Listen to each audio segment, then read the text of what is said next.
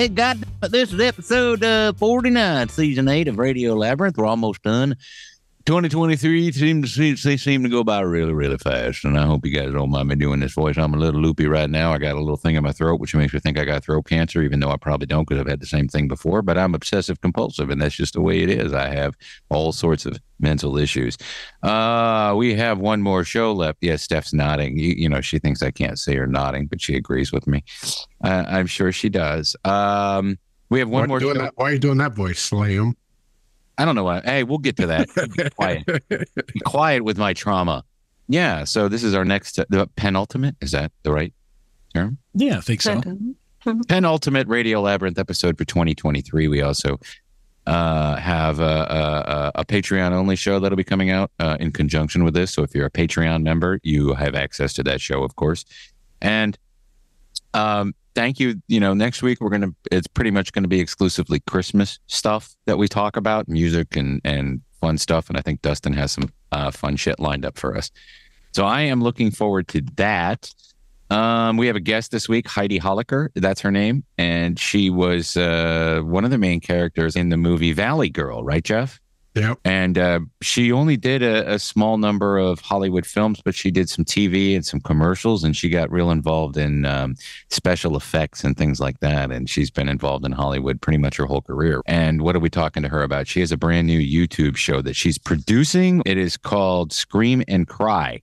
And uh, this uh, goth girl, Scream, and her little puppet rat friend, Cry, review horror movies and they do little uh, bits and stuff. There's another cast member and then there's a couple other puppets. It's it's funny. I watched it last night. I watched some of the prep stuff, the early release stuff, and then I watched uh, the uh, the review of The Fly. The editing and all that is really good on the, Yeah. the, the they do a really good job weaving in and out of commentary with clips from the movie and stuff. It's really good. I still that is the grossest movie I think I've ever seen with all the body parts falling off. Yeah. yeah. And even though now they could do it with CG, it's somehow grosser that it was done with special effects and makeup. And Uh, and the and the, and the, the Goldblum, he just crushed oh, it. yeah. Oh yeah. Uh, uh, uh, Brundlefly. Um, so, uh, Patreon show that you can get at any level. You can come in at a dollar or, you know, on up and, and all that stuff. Go to patreon.com forward slash Tim Andrews and, uh, and sign up at any level. Uh, you can also sign up to be a producer at the $25 level. And if you do that, you get a t-shirt, some stickers and a doodle and, and uh, then you're credited. You are credited as a producer of this show. And I want to thank our producers right now Tim Slayton, Brian and Chelsea Smith, Jeff Peterson, Jim Fortner, Terry Fuller, Chris Chandler, Roby Neely, Kevin Jackson, Mike D, and Matt Carter. Thank you guys very, very much. Remember that if you're watching this on YouTube, uh, subscribe, like, uh, leave comments. We're getting really good. This will be the third week in a row we actually read them. How about that? Pretty nice, huh? Consistency. It's the devil. if you're a member of Spotify or if you're whatever you wherever you listen to podcasts, please rate and review us. And we do need to dig into those and see if anybody's left anything late. Um, we also have uh, we also have a merch store, and uh, our friend Wally is going to tell us about his favorite Christmas song and an anthology series that he pitched.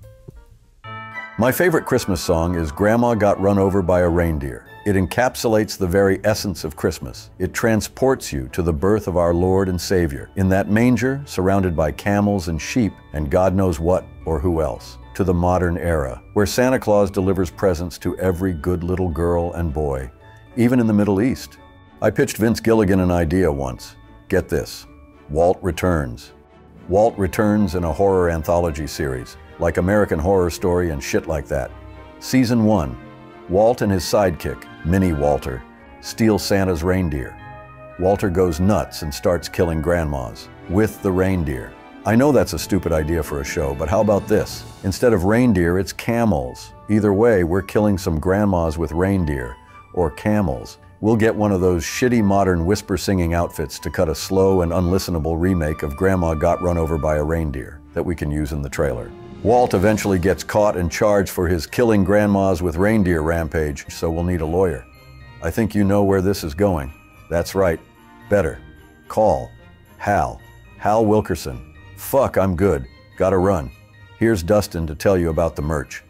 got it's still going on. Our 10% off until the end of the year. That's with code RLP123. Check it out. We've already, we've had some sales already, so I'm glad this stuff's starting to get out and people are starting to enjoy it. Great. Oh, really? People are buying it? They are. And Tim set up a whole pickleball pickleball court in his backyard. Yeah. and if you if you don't mind pine needles and dog shit, then you come over and play.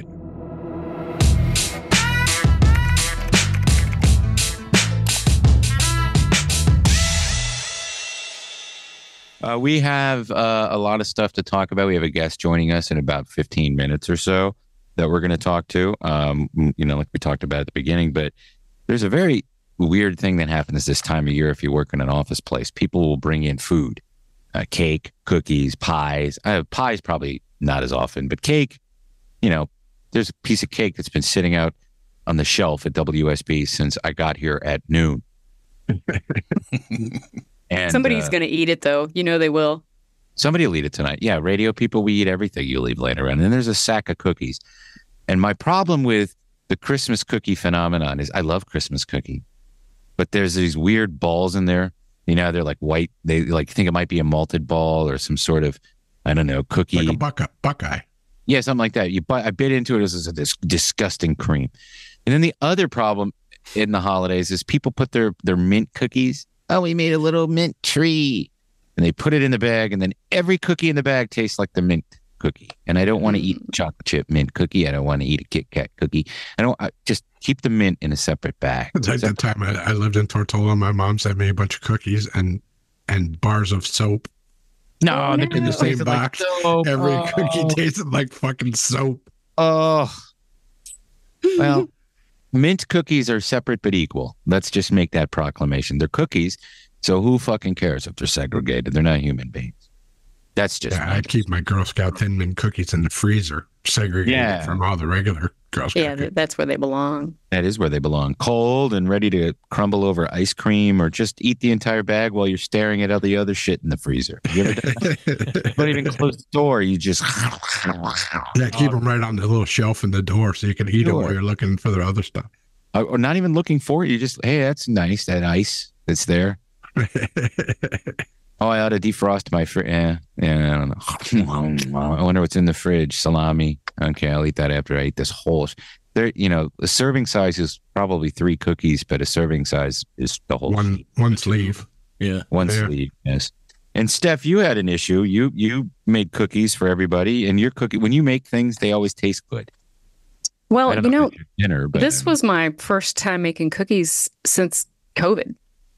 oh, And you know, I used to I used to make them every Christmas, tons of them. As you guys Mm-hmm. know, I bring you guys some, and I always take them into work, and Pickle takes them to work, and it's like a whole thing. And I, uh, I just decided, you know, I'm going to do it this year. I'm going to make some, not on the scale that I normally do, but I decided to make some homemade molasses cookies. ooh, Nice. good. So Those are the ones you can suck the molasses out when you're eating them. And you can think about the molasses massacre flood. Mm-hmm. I remember. while you're, I hope eating it. not. I hope not. This was a different uh, recipe that also called for you to melt and drizzle white chocolate over them when they were done. So they did come out really good. And by the way, I don't understand how uh, a thing of cloves, it, like that is this big, is seven dollars. Oh, they got Not really to bring them over from Madagascar. So that's why it's so expensive. Some freaking cloves. Anyway, You got to jerk off a monk. Hey, we've already done that. Oh, sorry. well, they. But anyway, they came You out. Jerk off a clove. They were Why are cloves expensive? They're the most disgusting things on earth anyway. People who put them in ham should rot in hell. You ever bite into ham and you oh Yeah, now that's stupid. But you got to have a little bit of a clove when you're making kind of like a spice-based cookie. sure, sure. But they're ground up, right? You're not biting. Oh, yeah, yeah, very ground, and you're only putting like a fourth of a teaspoon in in a Mhm. whole. You can just grind up a, batch. one clove cigarette into the. Yeah. That would be. I don't know. I mean, it'd probably be about the same price because it's seven dollars for a pack of cigarettes. So either way, I just I'd have to I'd have to do it. But I made all these cookies, and I'd forgotten how much work this is, and how you know once you start baking, you're trapped in the kitchen. You're Yes. fucking trapped for Yes. you you can't do anything you can't go anywhere because you have to babysit them and as like as they come out then you get some others back on the sheet to go back in. It's just a constant thing. So by the time I finished, and the next morning I'm headed into work, and I've got my whole big tray of them, and I got to work, and I just looked over at them, and I was just like, "Fuck those people! They don't deserve these." I Okay. killed myself on this. Me and Nancy Picklebottom are going to eat every single one of these. I I took them to my my mother and father in law. Ah, actually, okay. I just took oh, the whole tray to them, and so that they could share with their neighbors too, because they've got some really sweet neighbors. So yeah, I don't know. It just hit me like all of a sudden. Plus, we've had such so much staff turnover. Our staff turnover has been insane.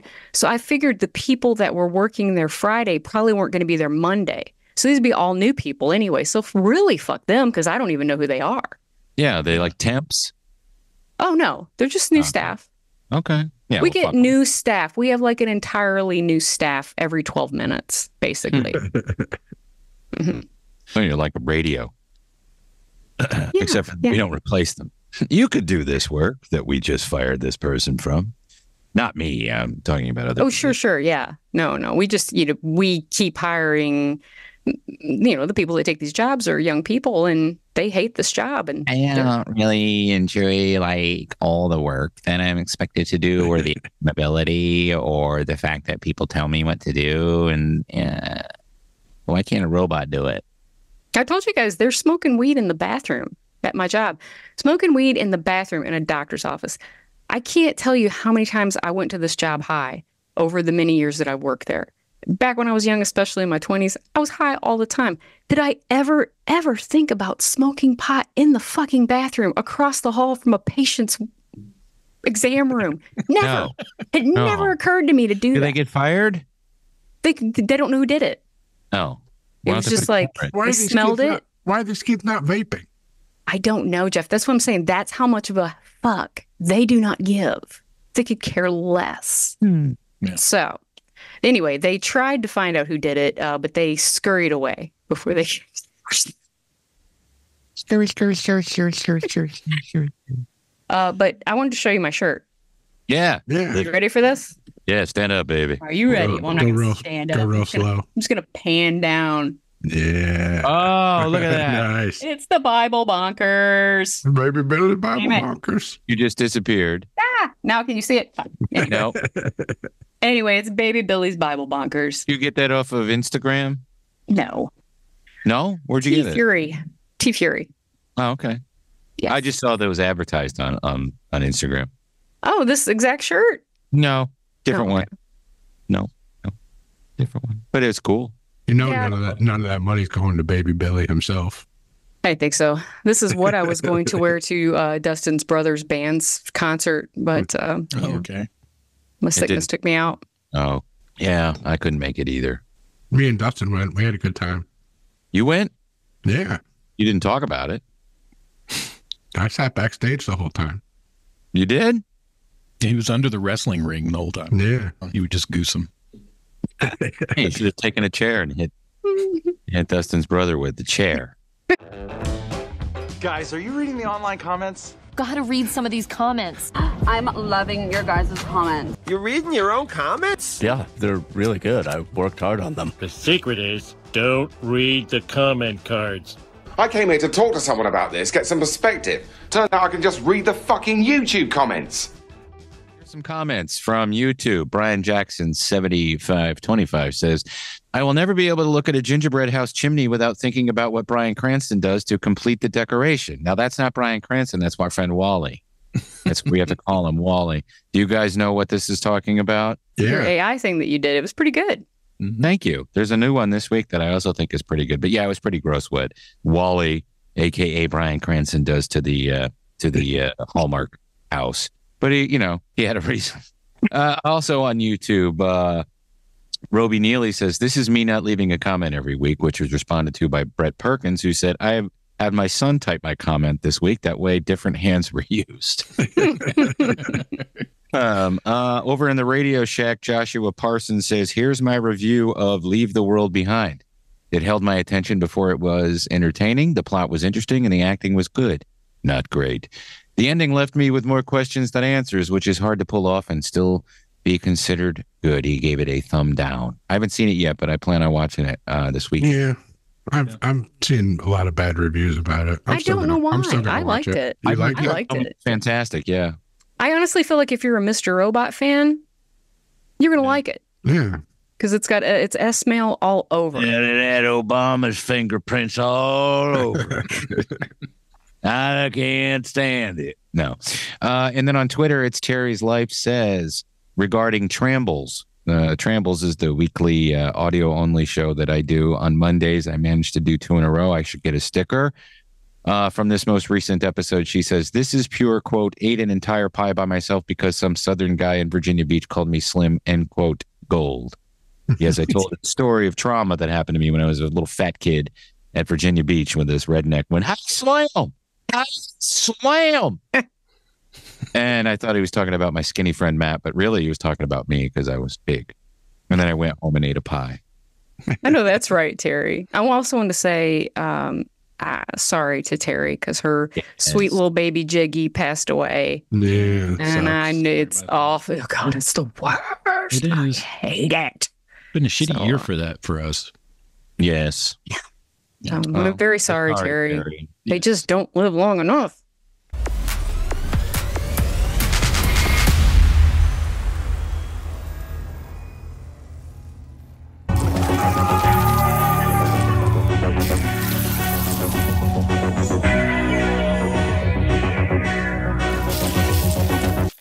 Oh, my. Oh, The Fly is about a scientist experimenting with human teleportation. And puking his guts out, turning into a fly. Fantastic! I'm in. Our guest this week, Heidi Holicker, is the co creator and executive producer behind the new web series Scream and Cry. Heidi's diverse background includes production, post production, writing, publishing, marketing, print design, visual and special makeup effects, acting, and film distribution. In her early career, Heidi starred or co starred in five feature films, 30 plus commercials, soap operas, music videos, television specials, including Firesign Theatre's Eat or Be Eaten. And one of her favorite projects, Twisted Sister's Leader of the Pack video. I knew you'd break your heart. Heidi has worked closely with such renowned filmmakers such as Guillermo del Toro, Ron Howard, Tim Burton, Ralph Winter, Wes Craven, Barry Sonnenfeld, and Martha Coolidge. Some of the feature films she has worked on include Tim Burton's Planet of the Apes, How the Grinch Stole Christmas, Men in Black 1 and 2, The Nutty Professor, The Klumps, Cursed, The Devil's Advocate, and many, many others. Heidi is also known for playing the role of Stacy in the classic 1980s film Valley Girl. And now, without further ado, please welcome Heidi to the show. Heidi, hello. Well, lovely to be here. Thank you for having me. It's very fun. I watched your Dan Frischman interview and I thought it was lovely and beautifully well done. So here I am. Thank you. Well, we have a fondness for people who who create and have been a part of our lives, especially in that magical decade where all of us were young people, except for Dustin, who's like 20. No, you know. 20, 20, ancient. My I God. I was born in 75. It was my, All right, you get a pass. You get a pass. You're still Gen X. But you know, he's sneaking out into the living room, or maybe your parents went out drinking and let you home to babysit yourself on a Friday night, which often happened for me. Oh, yeah. And HBO, we're going to watch Valley Girl tonight. I believe I watched it at Jeff's Oh. house. Oh, see, I was loving, I was watching Love American Style and uh, Love Boat. we did that too. I was creeping and I was creeping down the hallway to get um to because my babysitter was there, but I was creeping down the hallway of our apartment to to veer my neck over so that I could watch whatever laying on the floor, so in you know inconspicuous, so that I could watch some shows. the Donnie and Marie show was on, and I had to go to bed, but my mom would fall asleep on the couch. And I would come down. I'm, I want to watch Donnie and Marie because Shields and Yarnell are going to be on, and they made me laugh for some reason. Well, my background is my mom worked on all of this shows. She worked on the Sonny and Cher show, the Jackson Five specials, the Osmond specials for Andy Williams. She discovered Glen Campbell when she was working on the Joey Bishop show. And they needed a substitute, and she had already interviewed him and thought he was fantastic. So she got him on the next night, that that night, and he became like Nick Cage, literally became a star overnight, and Right. um, so it was kind of in our in our blood to work to work that way. So what would your what would your mom do? My mother is a writer, but she was a talent coordinator. Wow. And then she was demoted to being a secretary for the producers of Sonny and Cher and Andy Williams. And she was a talent coordinator talent coordinator for Joey Bishop when she came out here from Boston. Did she was just work with uh, Bob Einstein? My Super dad big. is literary agent. My dad worked with Bon- Bob Einstein many, many times, and we were just Right. talking about him the other night um, because I actually worked with Albert Brooks. So we, Oh, wow. it's, it's all tied in. That's that's awesome. The documentary. My dad represent him as represented him as a literary agent, Bob Einstein. You're like the coolest guest we've had. yeah, yay! I'll take it.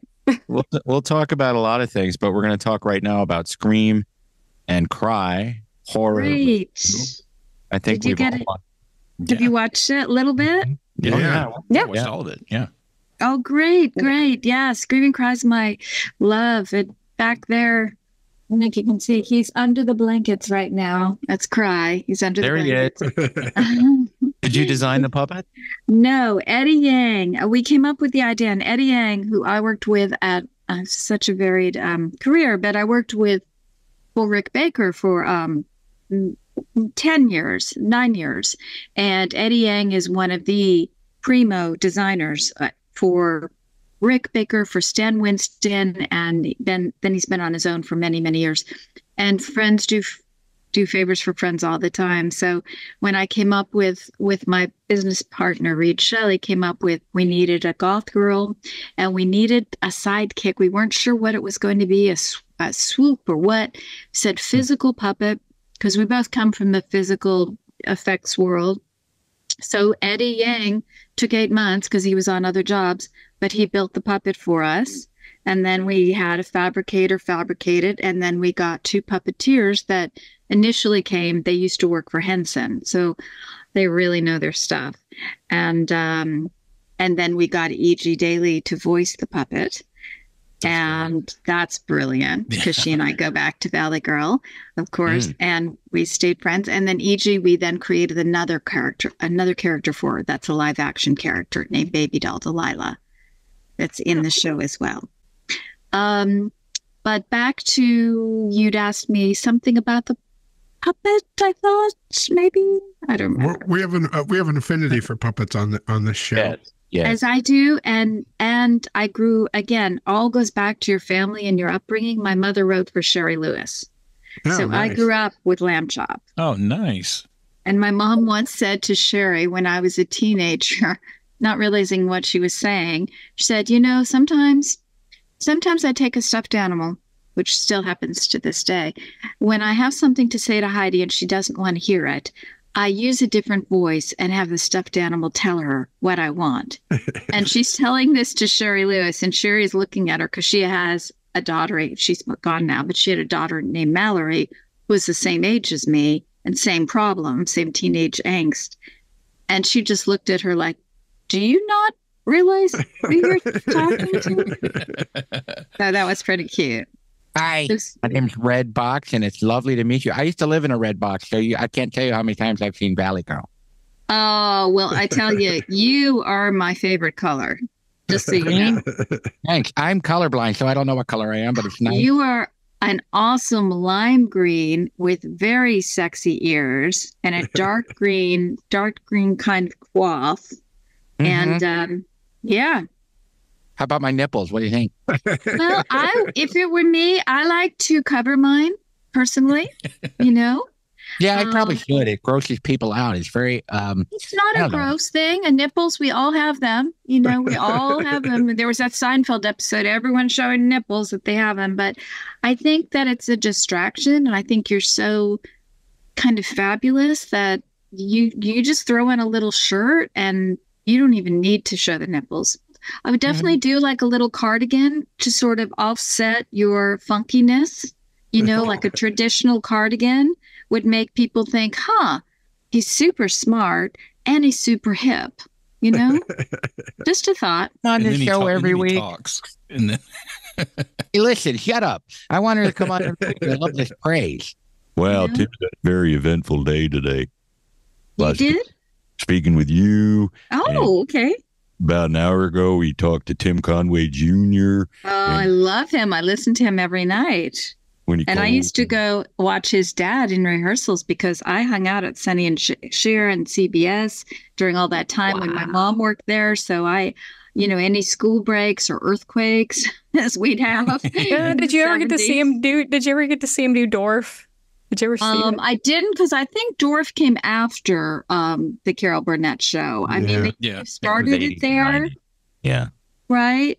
Uh, but I did get to see things like the when they did the carpet scene. You know, when she's um, when You were she's there? Scarlett O'Hara. Yeah. oh, the Gone with the Wind. God, Yeah. with the wind and I I just hang out. I hung out on the Laugh-In set and I'd watch them behind the doors. And then I and my dad was knows George Schlatter and again my mother worked at CBS so I could just go wherever I wanted.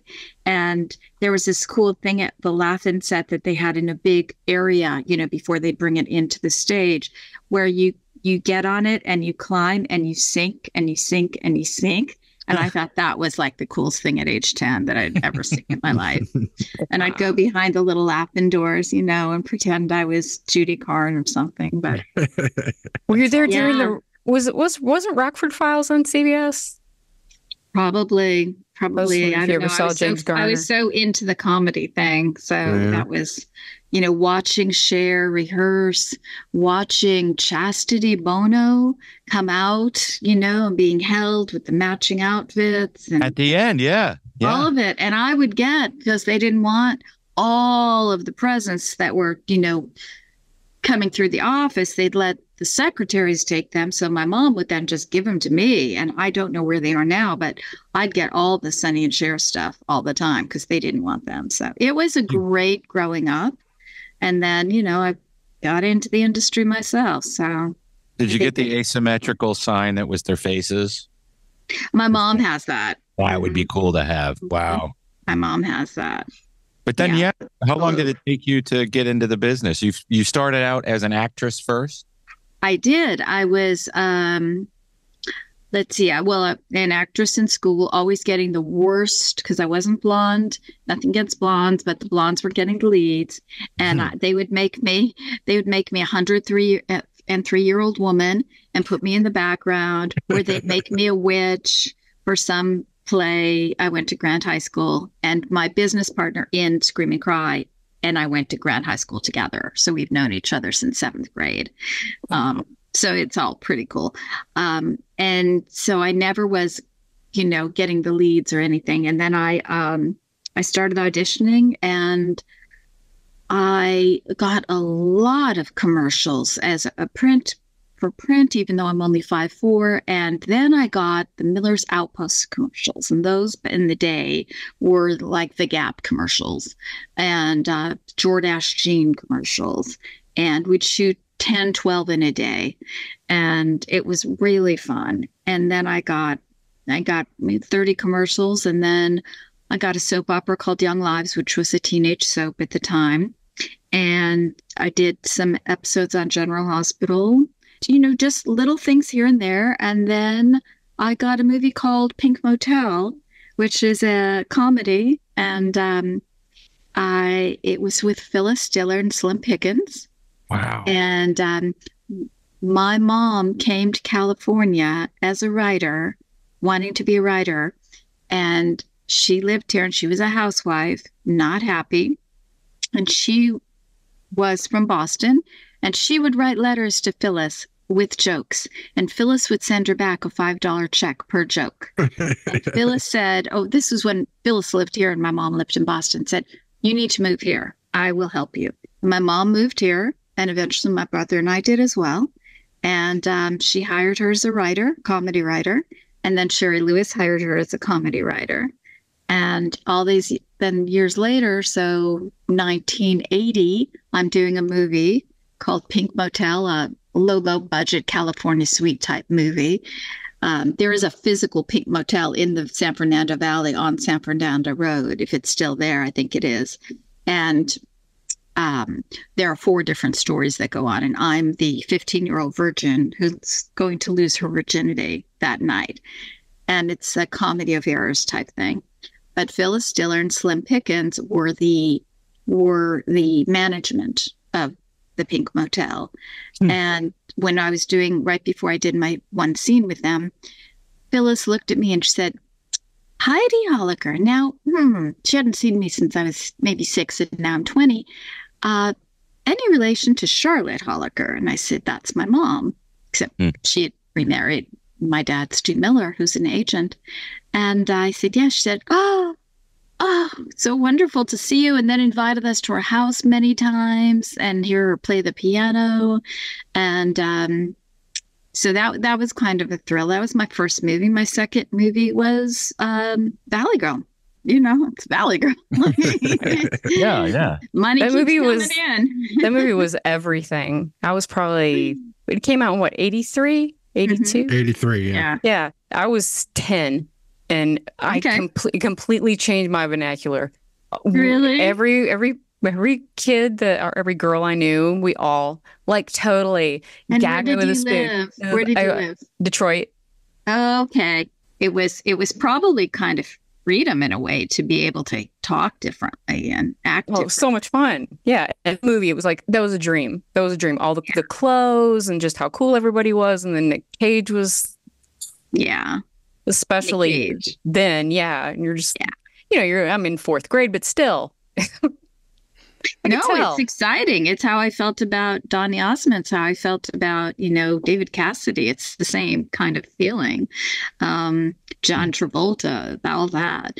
And it was, I was the only one in the film from the Valley. So I was. Yeah, that's bizarre that you're the only one in, in the entire Valley Girl movie that, Yeah. that was actually Quite- from the Valley. uh, quite instrumental in um, the vernacular, and also I provided all of the wardrobe for us. There was some other wardrobe that came in from the wardrobe folks, but The Valley Girl song by Moon Zappa had come out in 82, I think. Yeah, I heard that And at a Valley party, and I thought, how cool is that? That was my that that was my response. That was like Zappa's only top 10 hit or something, or his biggest charting single. Yeah, and then I think he regretted it. I read so many interviews, but I'd heard an interview a couple of years ago with uh was it Rachel, the director of Valley Girl? of the of the remake, Rachel Goldenberg. Was it Rachel Goldenberg? And she was talking about all the stories that she had heard from the making of the original Valley Girl, and it was some something that happened at the party scene. Was it the cops actually show up at the party scene? Um, the cops. I don't recall the cops showing up. I was there. I was the one getting slimed with goopy slime goo. Um, What we had is all of the extras on the film were guys that were students of Harvard Westlake, uh, except it was Harvard, only Harvard at the time, which was an all boys Catholic school. And so we utilized them and maybe they were paid, maybe they weren't paid, I don't know, to hang around and be uh, the party extras at, at the prom scene. And so they got um, a hold of some alcohol and they got pretty drunk. And so when it came to us leaving the the party scene, um, it was already set up that that Fred would put you know green goop all over me, but they started throwing everything. So and Randy and Julie slid under the table and it was I mean we knew that was going to happen but they they were running after them and they made it a bigger um I mean it worked it looked exactly like it was you know It was scripted Yeah. um it was supposed to but they got a little bit wild um a little wild so but it was it worked so that's kind of bottom line all that matters if it if Yeah. it worked the shot. Yeah. and we did one shot on everything. Right. We had had no second takes. We had this much film, which you've probably heard in these stories. Uh, we would be um, when we were shooting the Randy, um, the Randy Fred, um, Julie Stacy in the car going to Mulholland Drive. At one point, uh, we the brakes the brakes broke stopped, and um, or that wouldn't stop. There was a brake issue, and we um, were running out of film simultaneously. So was that it was totally, hey kids, let's put on, put on a show routine. I mean, it wasn't. It was it was really. Um, we had no permits. You know, Yeah, it was we were guerrilla, dreading- guerrilla filmmaking. Yeah. such guerrilla filmmaking, and we didn't care. We just had the best time. So we just laughed and laughed. the film uh, really kicked off the 80s in a way uh, that that genre of film and it was ripped off by so many people and and to, to not be as good i remember siskel and I, mean, I could be wrong but i remember they both liked it you know and that's who you Oh, Roger Ebert. Roger loved it. And in Yeah. fact, when we had a screening five years ago, um, Roger's wife, Chaz, came. She lived about an hour and a half, two hours away. And she came to our cast and crew screening. Um, and that meant so much to me. Yeah. Uh, I got to know her because my uh, day job is Magnolia Pictures in distribution. And we were doing Roger Ebert's last movie, which is um, um, about about his struggles with not being able to talk. And Chaz is a hero. She is just an extraordinary human being, and she got him through. You know, she got him through being able to still be him, but have no ability to talk because he lost Right. half of his jaw from cancer. Um, Life itself, it's called. I highly recommend it. Yeah, Magnolia I've seen that. Beautiful film. So uh, when it was up for an Oscar, which it did not win, I approached Chaz, told her about my moment with Roger. That when the film came out, we, you know, handwrote notes to each other, and I handwrote a note to him at the Chicago Sun, I believe it was, and he wrote me a note back, and I have it somewhere, and said. Um, you did a great job. It's a really beautiful film. It was not traditional teen boob thing. It was great. I loved it. And um, then years later, so that was that was eighty three. Uh, fast forward to like nineteen ninety eight. I'm doing a film with Rick Baker, who I worked for, and co-ran his studio. And we were at a press junket with Roger Ebert for a movie called Mighty Joe Young Oh, which yeah. was a Disney film with uh, three uh, 50 Naplet gorillas. It was really a quite an undertaking for our effects team. It was pre- it was pretty cool. I loved the film. You know, I don't think it did well, but I loved the film. And Roger was waiting in line at the uh, Century City Hotel to, you know, interview Rick Baker. And I went up to him and I just told him who I was and that what he did to for me by writing that letter and sending it meant the world to me. And I was so grateful. And he remembered it. And then fast forward, you know, what it was five years ago when I saw all of the emails between Chaz and our publicist. And I just wrote her and just said, This is what your husband did for me. And, and, um, happened to be having a screening of Valley Girl and I'd love for you to come. So everything is full circle. Everything is full circle. I believe that. I believe that that happens in life. If you if you if you are in a in a, a circle of people and you do one thing and then somebody does something for you, it'll all come back to you in a, in a weird cosmic way. I don't know if it's weird, but it is cosmic. It is cosmic. Well, it's what I did the other night on Monday night for the Sting, uh, the Sting 50th anniversary. You guys are probably all familiar with the Sting, whether you've seen it. Seven Academy Awards, 10 nominations. And my dad is the agent to the screenplay writer.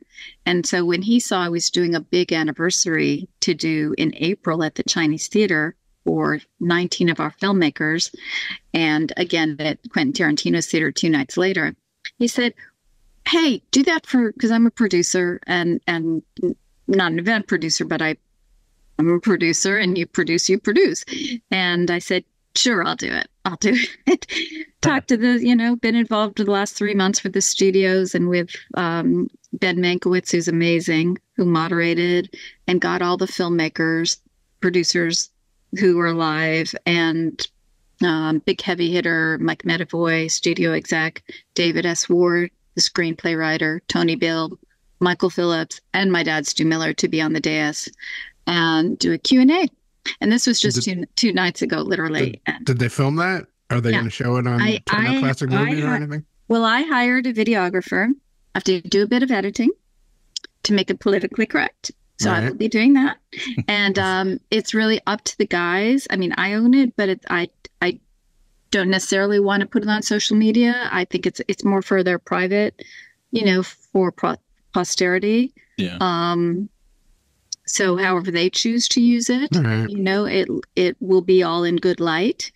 Uh, everyone will come off well, and we did photographs. But it's it's just uh, so ironic that everything comes around because in it, uh, I don't know how much time we have, but in in a tiny nutshell, the reason that my dad even knew who this writer was, this 19 year old writer, was because his car got hit on a rainy day, and the man who the man whose wife hit the car uh, put a note on it with I'm probably saying it wrong, but with the license plate and the contact number. So my dad contacted the man. He was lovely, and uh, they stayed in touch. And he said, "Oh, you're a literary agent. I have a few scripts." He wasn't a writer, but he knew the neighborhood and he knew all the all the locals. You should read this. And it was Steel Yard Blues, which did get made by Tony Bill and Michael Phillips and Julia Phillips. And then they said, my dad warned me, said, they're going to say, what else have you got? And he told them the story of the sting. And then it got to Redford and Newman. It got to um, Dick Zanuck and um, um, uh, Zanuck Brown. And ironically, I ended up doing a movie with Dick Zanuck with Rick Baker, uh, Planet of the Apes. So everything is, I mean, Dick's passed now, but everything is, everything somehow comes around.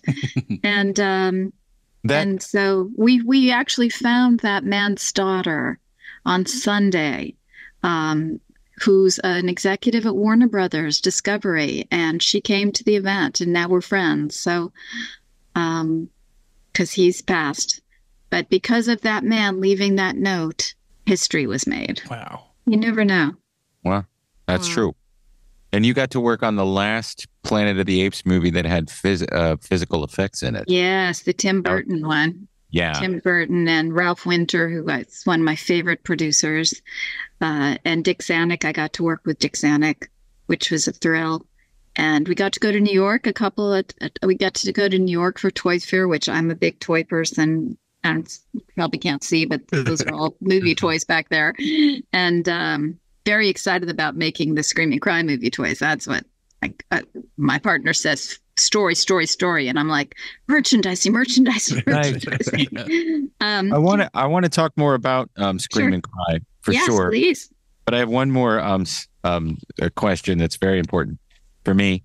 Uh, when you made the video for uh, the Twisted Sisters uh, oh, yeah. of Leader of the Pack, Yeah. um, did you get to work with Bobcat and what was that like? Yeah. Yeah. Yeah, Because he I hadn't lo- really broken through yet, had he? Well, it's ironic because two years before I was in Los, I was in um, where was I? I was in San Francisco visiting some friends, and they said, "Let's go see a comedy show." So I went to see a comedy show, and there's some little guy on stage screaming, and I'm thinking, "What the hell is this?" Just like that, you know, say something, and I was, I was just, like, I don't get this. I just don't get it. So I left, and then, um, then got the gig. Actually, got uh, leader of the pack because Marty Callner, the director, knew my friend Charlie Randazzo because they edited a lot of 80s movies together, 80s music videos together. And he said, um, he met me and he it was late at night and he said, and I was just, I guess, a little flippant, a little sarcastic. I don't know. It's not usually like me, but um, I guess it worked. And he said, "Hey, I want Dee to watch Valley Girl," and Dee Snider watched it and said, "I love her. Let's let's bring her." You know, it was very old fashioned the way things worked. Um, and so he said, "Hey, I want you to be the girl in the in our video." Great, I love rockers. Let's do it. so we had four days and four of the most fun days ever. Uh, yes, Bobcat was Bobcat was so shy, which was completely opposite of the man that I saw on stage. He was so shy because I had to hug him, and he was just so nervous. And you know, I mean, he's a married man. It's not like he didn't know like women or want a woman hugging him, but he was just so sweet and so shy. I loved it. And um, got to hang out with the guys, got to hang out on Be Cruel to Your School. And ironically, my dear, dear friends who are makeup artists, like major Academy Award makeup artists, um, KNB effects, they were the ones doing the effects on this Alice Cooper Be Cruel to Your School Twisted Sister video. So because I was there and I became friends with them, they said, Hey, come hang. So I'm eating gummy bears with Alice Cooper in a trailer talking about golf and life and families. And I was like, this is good. this is very good. Life is good. Life is Life good. is good. And then I did. I also did something really cool with Firesign Theatre, which I loved. I did a an episode uh, special for them. Got to work with um the guys from Firesign Theatre. If you know them at all, Oh yeah. um, and um, that was very special. They did they did tie me to a stake and light fire, and then take a lunch break because I was Yeah. a cheerleader being sacrificed to a plant. Um, you know, very Firesign Theatre. Uh, um, Phil Proctor is is alive and he's a friend, but I realized that I really was tied to a stake, and then they called lunch and we were shooting in the middle of the night, and I just kind of I was just one of those, you know, you're not an important actress, and you're just going. "Hmm, maybe someone could help me. Okay. but I was in, I always wanted to be a cheerleader and I was in a cheerleading outfit. So I was, I wasn't unhappy about it. So Well, let's take some time to talk a little bit more about the new YouTube show, Scream and Cry, uh, horror review. How many films have you done now? We have done, yeah, we have done four full movie reviews. Um, one of them is for It, one is for Nosferatu, which is super popular now because I think there are one or two major Nosferatu movies coming out. Oh wow! um, at least one right now, uh, this month, I believe, uh, with major players. And we did um, we did The Fly, the Jeff Goldblum, Gina Goldberg, The Fly. That was a lot of fun. And we did Rosemary's Baby, which we're we're just finalizing the edit now. So those are four full movie reviews where you have you have our show open, you have all the little things, you have um, a moderator who is um, who is Scream, who's a 20 year old goth girl. She lives in her parent. I'll just give you a basic. She lives in her mom's basement bedroom. Um, her her mother, Queen, who is me in the. If you look at it, there's a big poster uh, behind Scream's fabulous chair, which is Hmm. of me in 1986. And I, my character, which you only hear me once off screen so far, my character was a B movie actress in Hollywood, got knocked up by a gaffer. So just our backstory by a gaffer. He, you know, he didn't want anything to do with her, so she moved to the Midwest to live with her brother and raise the baby. And the baby screamed nonstop, so she called her Scream.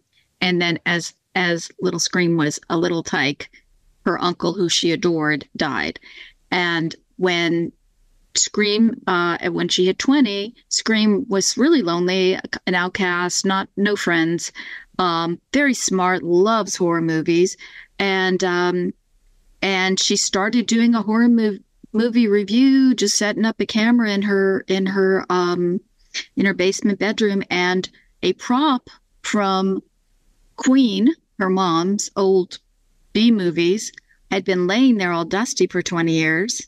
Enter Cry, who there's a one episode which is in black and white. If you guys have seen it, it's uh, called The Origin Story. yeah, that was where- great. Yeah. Thanks. That was we were really happy with that. And that's where they become best friends. Cry comes to life and says, you know, quit your bitching. I'm here. You know, I can't take anymore. Let's let's do this thing.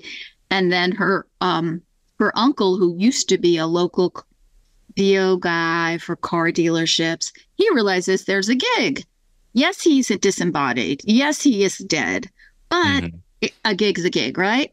Right. So so he he moderates the the show and then we also have other characters so we do full movie reviews completely scripted very funny we also do some music videos with the characters we do little shorts that we've been uh, we haven't put out a lot of them yet we're doing as many as as we can possibly do and then we have baby doll delilah and father bill and father bill is the very nosy neighbor who wears a big ass cross. I mean, like to here, to here, and and um and a priest's shirt because he's a wannabe priest, and so that's how he figures you become a priest. And he's always kind of nosing in on what kind of evil doings maybe Scream's doing in her basement. And he has a little thing for Queen, so we'll see where Oh, that yeah. goes. Um, and then Baby Doll Delilah is um, is a hybrid doll slash human played by the brilliant E.G. Daily, who plays the voice of Cry. And um, we created that with her, and we did a whole music video with her and Father Bill. And she actually lives in a dollhouse. So she she lives in the dollhouse, and then you see inside the dollhouse because she has been um all of the all of the religious folk have uh have um vanquished her to this to this dollhouse so there's all kinds of fun stuff that's coming up So that's what sets it apart. There's tons and tons and tons and tons of reviews on YouTube with people doing reviews. This is an actual show. So the it's a reviews scripted show yeah talk about this, but there's jokes and a lot of talent and there's real puppetry going on. And, Yep. and Original compositions by Bill, who's Father Bill, by Bill Pro- Propico, who is Mhm. our composer, and he's brilliant. And then I have a wonderful, we have a wonderful DP who's been editing for us named Langston Ball. I have a makeup artist extraordinaire who's doing four different makeups and hair. Um, we're a really tight team. We're 11 of us Yeah. doing this, but there are two of us who created it, are the main writers, are the producers and exec producers. Can I ask how you guys are uh, choosing the movies that you're doing?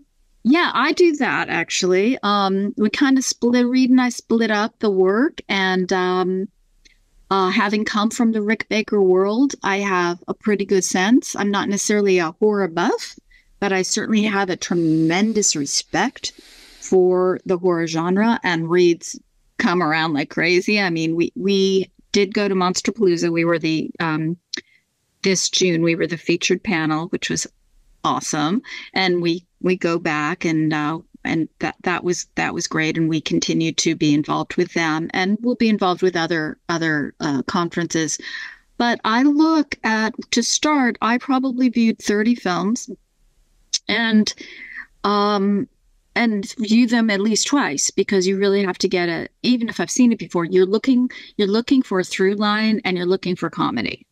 Because in every horror film there's comedy somewhere and we're both comedy writers.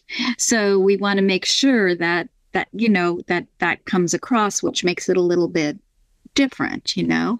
Yeah. Um and so i there are probably 10 that i love that i've done the outlines for that we will make into shorts short movie reviews so probably about three to four minutes as opposed to 12 minutes um, i just watch them and know I know if it speaks to me, basically.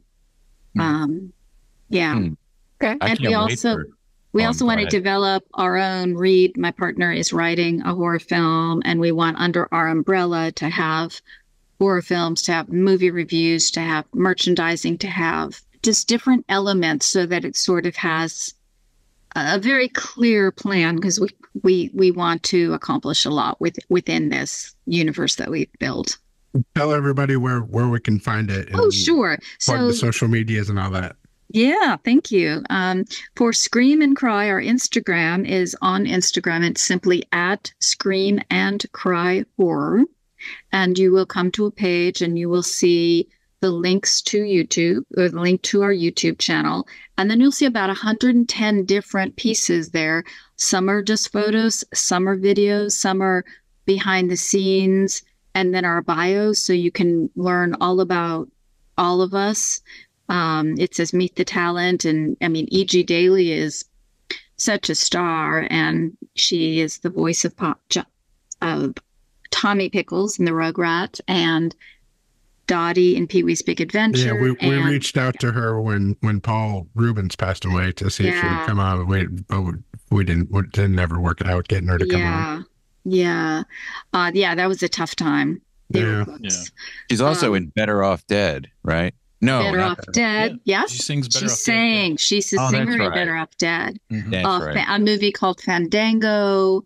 Um, let's see. She didn't. I did Joy of Sex. She did not do that movie. Uh, she did she has over, I'd say, 60 movies under her belt, if not more, maybe 80, and sings on a lot of them. She is such an underrated singer. I was falling asleep a few nights ago, and she does this song that I absolutely love. It's called So Pretty. She shot the, the video about five years ago, and it's she does um, she has two gorgeous uh, daughters in their 20s and the song is basically uh, you know why do i have to be so pretty? Can't you like me who i am?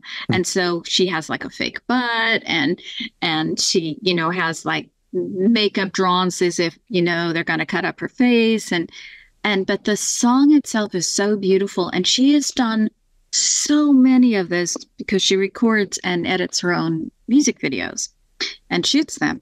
So she's a multi multi talent and a very very smart human being and a very kind friend and and a colleague. So I'm so proud to call her a friend, oh.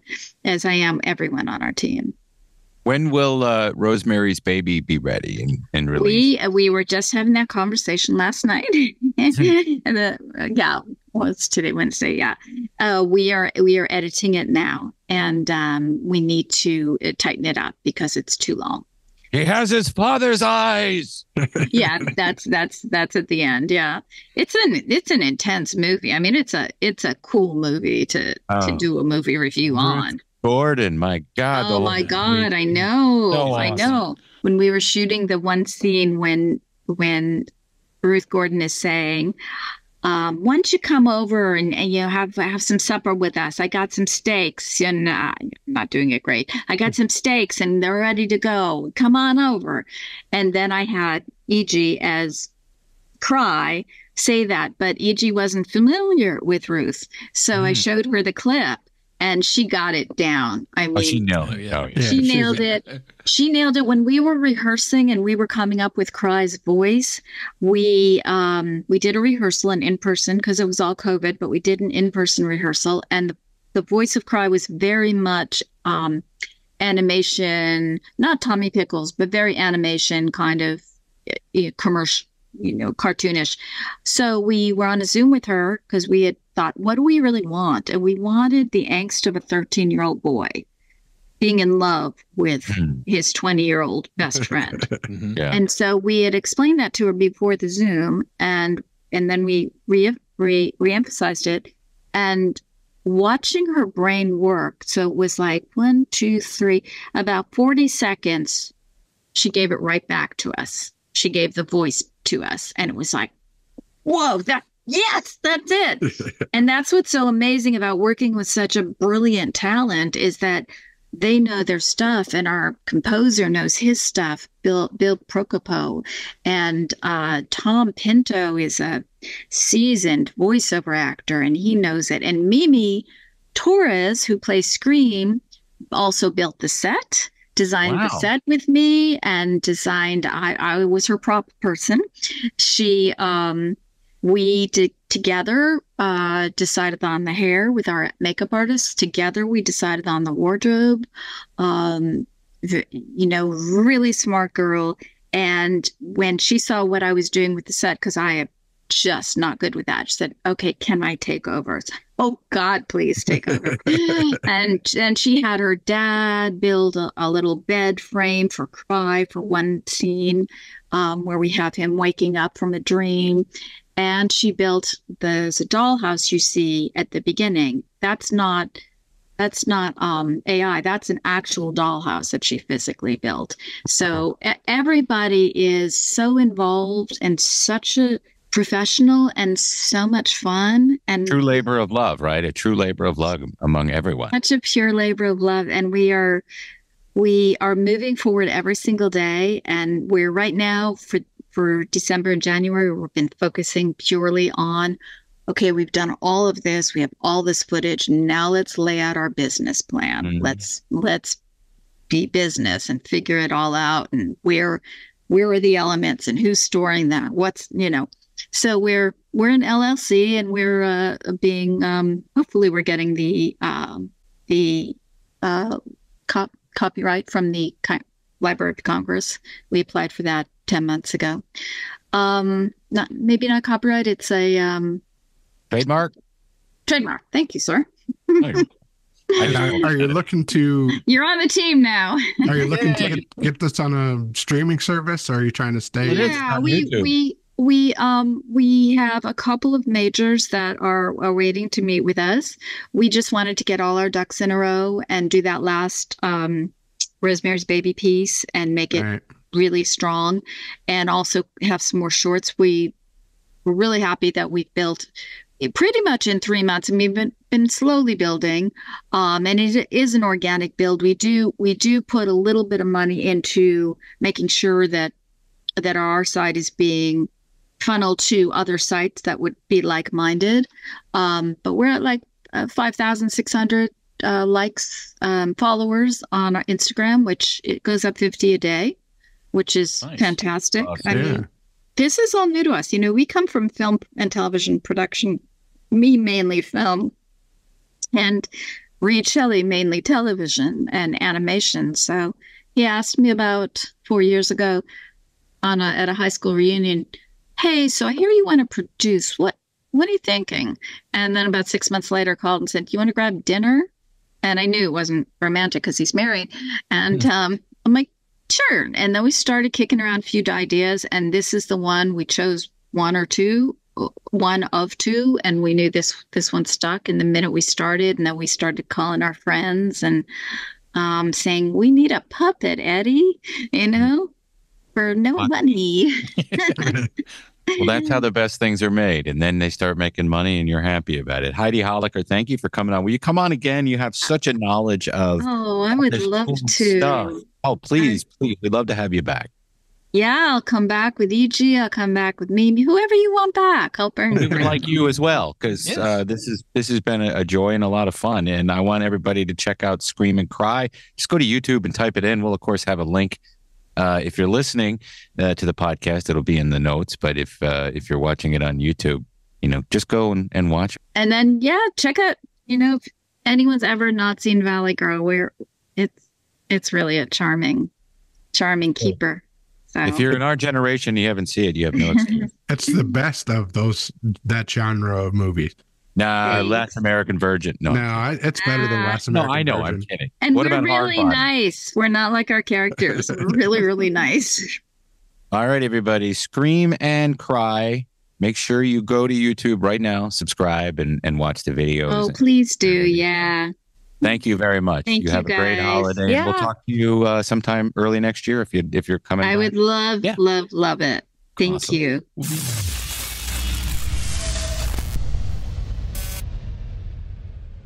Hey, we want to thank our two big sponsors who've been with us for a number of years uh, Mike Hall and Atlanta Pizza in Gyro.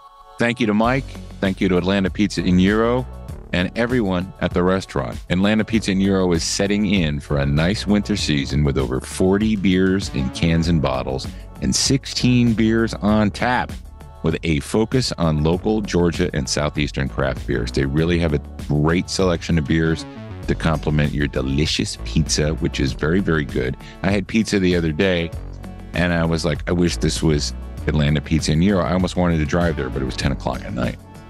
This is coming from Mike and Atlanta Pizza in Gyro. They want to help thank all the radios for listening to this podcast. So if you stop by over the holidays and New Year's and mention you heard about Atlanta Pizza in Euro on Radio Labyrinth, you will get a free dessert, which is very generous and very nice. So go there. You can't pass up free dessert. Take the kids.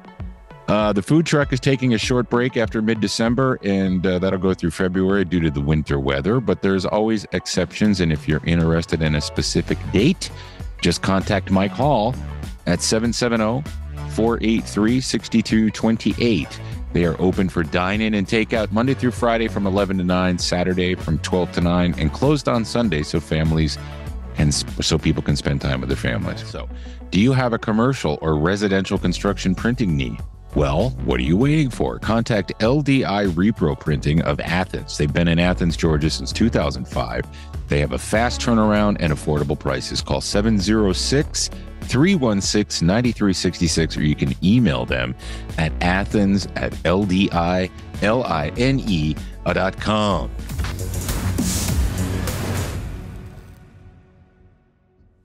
Wow, she was a great guest. My goodness, what a lot of fun it was to talk to her. And we definitely would love to have her back. Jeff, thanks for lining that up. Um, guys, if you're looking for a gift that you can't get uh, anywhere else, just go to cameo.com and put my name in there at Tim Andrews here, and I'll do a voice greeting for you or any of your family members or friends. Uh, check out the podcast by Radio Show Podcast. Last week's guest, Don DePetta, and the director of Cirque du Soleil, Echo. That's available as a podcast this weekend tonight. If you're listening on Saturday, comedian Leslie Lau and Paul Cowsill from the Cowsills. You know the Cowsills. They were the inspiration for uh, the Partridge Family, and uh, they're still making music. They have a new Christmas album. Next week, Keith Stanfield and Jeymes Samuel, uh, among other things on the show. That'll be Christmas weekend. Uh, check out Trambles every Monday. Uh, I promise I won't bail on it. Um, if you know me, then that's a very tough promise to keep, but I will do my best. And I want to say, hey, you know, I was in that Aquatine episode, episode three. Uh, my buddy TJ Hassan played Blade. He did the voice in the first episode. And then Ronnie from Dancing is Forbidden. I was uh, going to say that the dude from the podcast was on this week. Yes, he was on episode four, and I'd like to get him on this show uh, too. And then uh, listen, if you want a cameo other than me, you can get uh, Mark Schrenkel to do a cameo for you. Go to Mark001. Check out Who Buddies. They did the puppet, or he did the puppet. And check out Wade at the art gallery. You can see that art right here, the, the link right here. Steph, what's going on with Barkville? Anything for the rest of the year? Uh, they're at uh, Chiringa in Alpharetta this Saturday. I believe it's from 11 to 2 or something like that. Uh, Mhm. but yeah, that's the You be there? Chiringa Mexican restaurant. I don't believe that I will be there. I've got some familial commitments, but uh, Do they have nachos? they do. Yeah, they've got good food. Yeah, it's really good. Uh, there a lot of cilantro. You're into That's that. how, this is how tired I am. I almost said, Steph, I really like your Christmas tree. And then I'm like, that's fucking. you, you and Josh both, man. Yeah. I thought it was real for a second. Uh, da, da, da, da, da, da, da, da, da, da. All right. Um, yeah, we'll talk more about shows and stuff next week. But what a fun interview. Thank her uh, for us, Jeff. And Yeah. uh, well, let's get her back on the schedule. Happy holidays, everybody. Uh, We got we got to talk about Fargo at some point. yeah, we Yeah. do. We'll do that next week. So Yeah. fucking good. Yep. I'm behind this week. Until next week, please remember to keep it. Okay. And